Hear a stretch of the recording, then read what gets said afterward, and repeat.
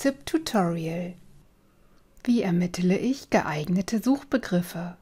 Sie schreiben eine Arbeit zum Thema ökologisches Bauen mit Baustoffen aus der Natur und suchen dafür Literatur im TIB-Portal. Eine wichtige Grundlage für eine gezielte und erfolgreiche Suche ist dabei der Einsatz von passenden Suchbegriffen. Zur Ermittlung von geeigneten Begriffen analysieren Sie zunächst Ihr Thema und schreiben die wichtigsten Kernbegriffe heraus.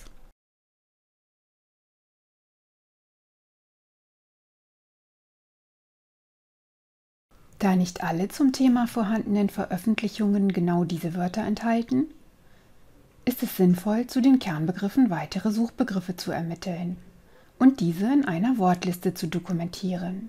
Dies können Synonyme, also Begriffe mit gleicher Bedeutung, Ober- und Unterbegriffe, verwandte Begriffe und spezielle Fachbegriffe sein.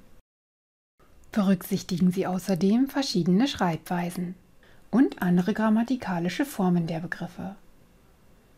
Ist auch Literatur in englischer Sprache für Sie interessant? Beziehen Sie die entsprechenden Übersetzungen in Ihre Suche mit ein. Zusätzliche Suchbegriffe für Ihre Wortliste finden Sie in Allgemein- und Fachlexika, Enzyklopädien wie zum Beispiel Wikipedia, Wörterbüchern, Handbüchern und Lehrbüchern. Passende Suchbegriffe können Sie auch bei einer ersten Recherche im TIB-Portal unter den verwendeten Synonymen ermitteln.